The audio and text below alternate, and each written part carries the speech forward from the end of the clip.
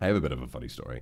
Uh, so um, a long, long while ago, a long while ago, uh, my mom was in the hospital for something. It wasn't terribly serious, and she's completely fine now. Um, but what happened was afterwards she was left with like some morphine that she could administer at home and i remember when i was like coughing really badly when i was coughing really badly and i needed to go to sleep but my, my mom came in and she was like she was like son son um, this this might help and she holds out a bottle of morphine. And i was like no i don't know if i want to touch that.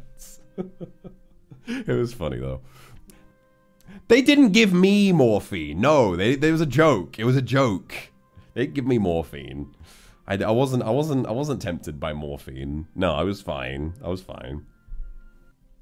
It's actually a pretty common thing. I've known a bunch of people who, when they go through like a surgical procedure, they'll get left with a tiny little bottle of morphine that they can administer to themselves at home.